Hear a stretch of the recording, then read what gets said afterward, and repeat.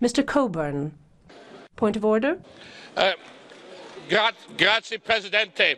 Um, I don't know if you noticed, as I did at the weekend, that um, the tanks being used against the Gilets jaunes in France, in Paris, uh, were bearing the European Union flag.